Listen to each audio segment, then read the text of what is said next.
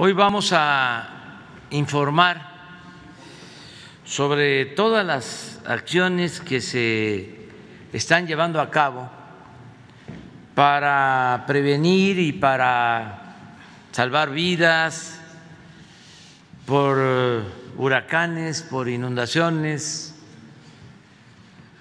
por los sismos, todo lo que hace protección civil.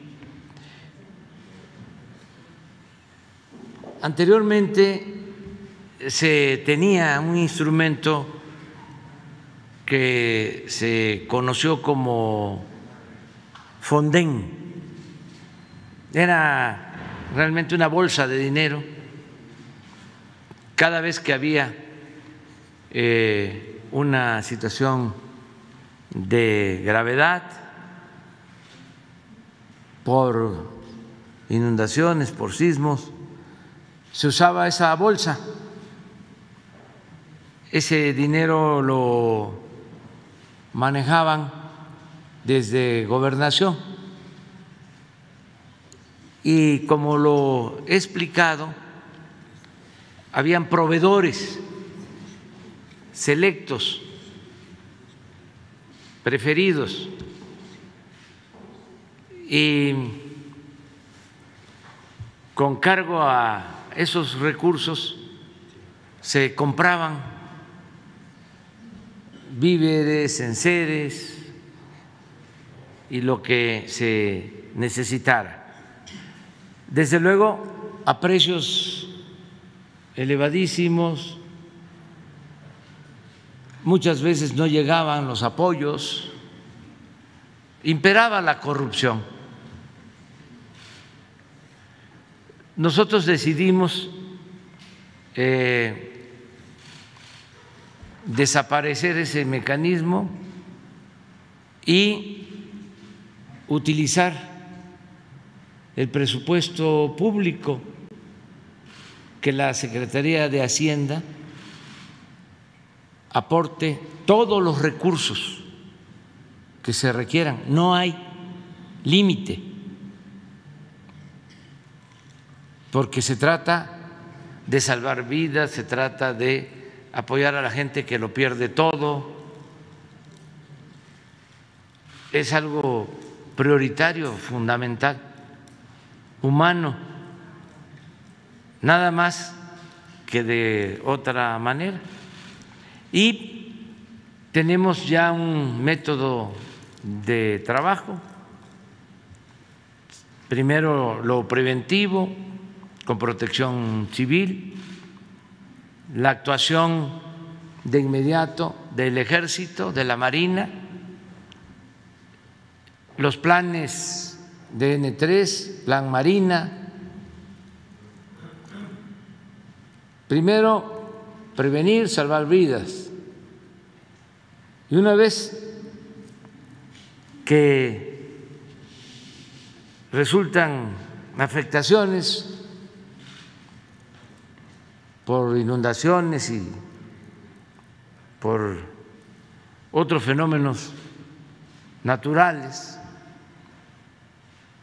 ya viene el apoyo a la población damnificada. Pero también en eso es distinto, porque se entrega el apoyo de manera directa, casa por casa. A los damnificados. No hay intermediación, porque también habían organizaciones que hacían su agosto en tiempos de necesidad. Ahora el procedimiento en esta segunda etapa inicia con un censo que se lleva a cabo, casa por casa. De modo que se tiene el número de viviendas afectadas, cultivos, y a partir de ese censo ya se toman las decisiones para apoyar. Eso lo hicimos en Chiapas, lo hicimos en Tabasco,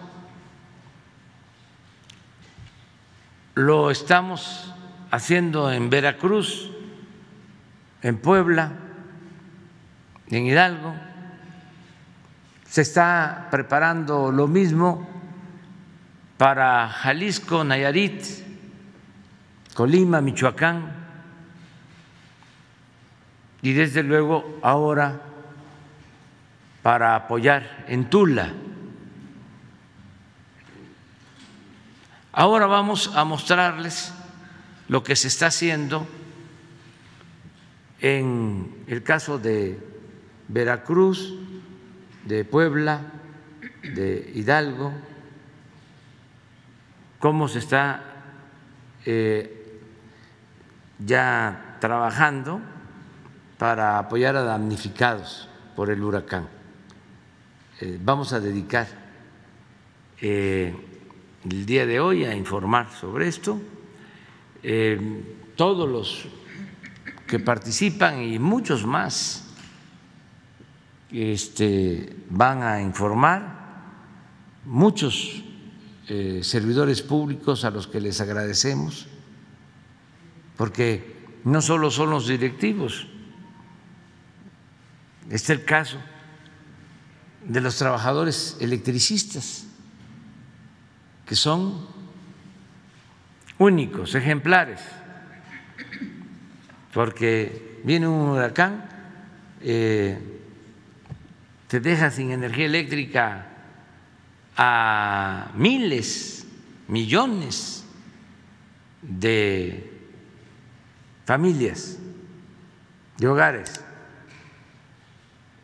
y empiezan a trabajar los electricistas de la Comisión Federal de Electricidad